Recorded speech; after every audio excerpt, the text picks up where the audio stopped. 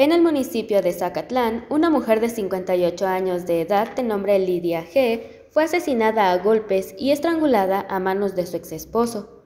El hecho ocurrió la mañana de este jueves, cuando el yerno de la Hoyoxisa acudió a dicho domicilio ubicado en la calle Jesús González Ortega de la colonia Guadalupana, tan solo para reunirse con ella. Sin embargo, llegó a la escena del crimen, en la que descubrió el cuerpo de Lidia G. sin vida y con visibles marcas de estrangulamiento por lo que este reportó el hallazgo al número de emergencias.